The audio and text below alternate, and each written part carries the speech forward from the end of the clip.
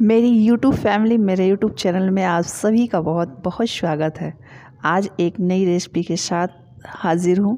तो आज बनाते हैं बैंगन की कुछ धमाकेदार रेसिपी जो कि बहुत ज़्यादा टेस्टी लगती है खाने में भी और देखने में भी बहुत ज़्यादा अच्छी लगती है। तो चलिए बनाना शुरू करते हैं। तो यहाँ पे ले लिया है मैंने दो बैंगन। तो दो बैंगन को इस तरीके से मैंने धो के साफ़ कर लिया था और इसका आगे का जो ये छोटे छोटे इसका ये होते हैं ना आगे जो इसके उसमें रहते हैं, इसको काट के ऐसे निकाल लेंगे। और निकालने के बाद इसे अच्छे तरीके से हम छील लेंगे। ठीक है? तो इसे आप चाकू की मदद से भी छील सकते हैं। मैंने यहाँ पे एक छीलने का यूज़ किया है और इसे छील लिया है। तो देखिए फाइनली हम सारे बैंगनों को अच्छे तरीके से छील लिया है हमने। फिर इसे बीस से जो है ना, फाँक करना है आपको। बीस से इस तरीके से जैसे मैंने फाँक किया है, फाँक कर लेंगे। और अब क्या करना है कि इसको ऐसे ऐसे करके इसको छः सात पीस इसका बनाना है। जैसे बारीक बारीक पीस काट के आपको ऐस, इस तरीके से बना लेना है। तो सारे बैंगनों को इसी तरीके से आप पीस में कट कर लेंगे। बहुत आसानी से कट हो जाते हैं, ज़्यादा इसमें दिक्कत नहीं होती है, बहुत आसानी से कट जाते हैं। इसी तरीके से आप छः, सात, आठ जितना भी आपसे कट लगे, आप इस तरीके से बारीक बारीक कट कर लीजिए। देखिए, ये टूटने ना पाए आराम से आपको करना है, जिससे कि ये टूट, टूटने ना पाए और ज़्यादा जैसे एकदम नीचे तक नहीं ले जाना है, जड़ तक, ताकि ये मजबूती से अपना बने रहे तो इस तरीके से हम सारे बैंगनों को कट कर लेंगे। तो देखिए फाइनली हमारे सारे बैंगन कट हो चुके हैं। तो आप इसी तरीके से कट कर लेना है, इसको भी कट कर लेंगे। और फिर यहाँ अब नया प्रोसेस क्या है कि देखिए, इसमें क्या कर लेंगे हम? बेसन लेंगे एक कटोरी, छोटी सी कटोरी थी, उससे बेसन ले लिया था। और यहाँ पे डालूँगी मैं आधी चम्मच हल्दी पाउडर, आधी चम्मच गरम मसाला और लाल मिर्च का पाउडर और यहाँ नमक साथ में ही डाल दूँगी और धनिया पत्ता डाल दूँगी यहाँ पे। अगर आपके पास धनिया पत्ता नहीं है तो कोई ज़रूरी नहीं है, लेकिन है तो डाल दीजिए। इससे जो है स्वाद में जो है ना वो बहुत ज़्यादा टेस्टी बन जाता है। धनिया पत्ता अगर हम कभी पकौड़ी वकौड़ी बनाते हैं और डालते हैं तो देखते हैं कितना मतलब टेस्ट बढ़ जाता है। तो धनिया पत्ता है तो आप डाल सकते हैं। और इस तरह इसे हम क्या करेंगे? अब फेंट लेंगे।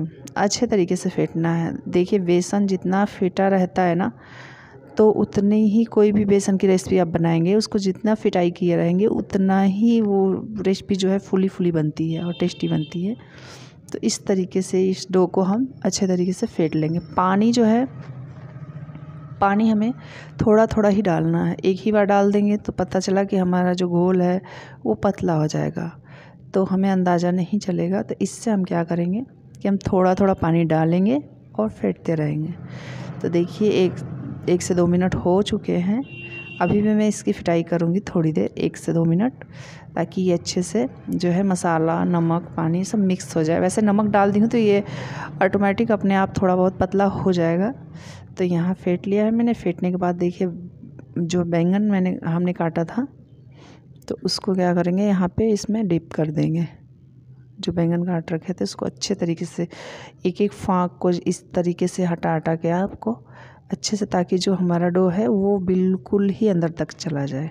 तो सारे बैंगनों को हम इसी तरीके से कर लेंगे और उसके बाद जो नेक्स्ट प्रोसेस है, वो हमारा होगा इसे फ्राई करने का, ठीक है?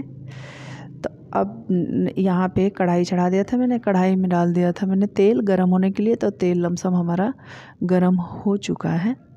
अब इसमें हम एक एक करके बैंगनों को डालेंगे। अगर आपका तेल ज़्यादा मात्रा में तो आप दो बैंगन डाल सकते हैं। और नहीं, आपका तेल कम है इसमें तो आप एक एक बैंगन को भी फ्राई कर सकते हैं। आज आपको हल्का ही रखना है, ज़्यादा रख देंगे तो ये बैंगन जो हमारे हैं, ये जल तो जाएँगे, लेकिन फ्राई नहीं होंगे अच्छे तरीके से, ठीक है? तो इस बात का आपको बिल्कुल ध्यान रखना है कि आपको जो है, बैंगन को हल्के आँच पे जितना फ्राई करेंगे ना देर तक। तो ये जो है, बैंगन तो वैसे जल्दी फ्राई हो जाते हैं, लेकिन थोड़ा हल्का आँच रखेंगे तो ये बिल्कुल अच्छे से फ्राई हो जाएँगे। और इसको जो है ना, इसको ऐसे भी आप चटनी के साथ सर्व कर सकते हैं, बहुत टेस्टी लगते हैं। तो देखिए, एक बैच जो है हमारा तैयार हो गया है, अब दूसरा बैच डाल के ऐसे ही हम फ्राई कर लेंगे। अच्छे तरीके से देखिए कितना प्यारा कलर आया है बैंगनों का। और कोई नहीं कह सकता ये बैंगन है, क्या है, पता ही नहीं चल रहा है। तो इसी तरीके से हम सारे बैंगन फ्राई कर लेंगे। तो चलिए अब मसाले की तैयारी करते हैं। हमारा बैंगन लमसम फ्राई हो चुका है। तो यहाँ पे हम मसाला बनाएँगे। तो मसाला बनाने के लिए देखिए यहाँ पे तो पहले प्याज और ये ले ली हूँ मैं टमाटर। और टमाटर को कट कर लेंगे। तीन टमाटर ली हूँ मैं। ज़्यादा नहीं लेना है। ज़्यादा अगर खट्टा भी मसाला बन जाता है तो बैंगन और आलू आलू की सब्ज़ी होती है तो वो तो एक्सेप्ट कर लेता है, लेकिन बैंगन वगैरह में कम ही रखना चाहिए। और ये जो है हमारा प्याज, एक प्याज है मीडियम साइज़ का, ये इसमें जाएगा। तीन हरी मिर्च और कुछ लहसुन की कलियाँ और इसमें अदरक का टुकड़ा और फिर इसमें हम डालेंगे दो लाल मिर्च। और उसके बाद इसमें हम डाल देंगे धनिया पत्ता। तो धनिया पत्ते से जो है ना, हमारे ये जो रेसिपी बना रहे हैं, इसका जो टेस्ट है ना, वो बहुत बढ़िया आएगा मसाले का। तो इसलिए धनिया पत्ता मैंने डाला है और सर्दियाँ हैं तो खूब सारे धनिया पत्ते आ रहे हैं तो डाल दिए थे। यहाँ पे मसाला हमारा तैयार हो गया है। अब देखिए यहाँ पे चढ़ा दिया मैंने कढ़ाई। कढ़ाई में एक से दो चम्मच तेल, जीरा और दो लाल मिर्च और एक जो है प्याज।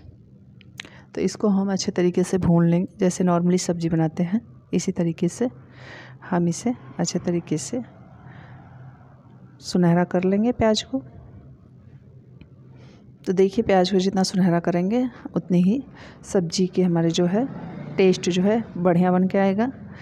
तो ये हमारा प्याज लमसम हो चुका है। एक मिनट और इसको करते हैं सुनहरा।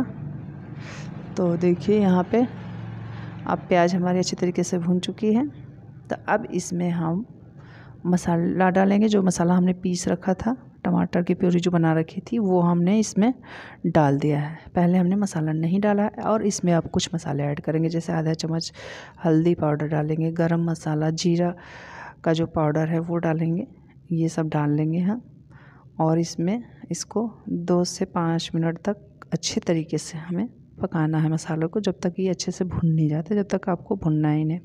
तो देखिए, हमारे मसाले अच्छी तरीके से भुन चुके हैं। अब इसमें डालेंगे पानी और इसे खौला देंगे, जैसे नॉर्मली सब्ज़ी खौलाते हैं। और ये जो बनाई थी बैंगन का, ये डाल देंगे इसमें। और देखिए, दो से पाँच मिनट बनाने के बाद हमारी सब्ज़ी परफेक्ट बनकर तैयार हुई आई वो वीडियो अच्छी लगी हो तो लाइक, सब्सक्राइब से ज़रूर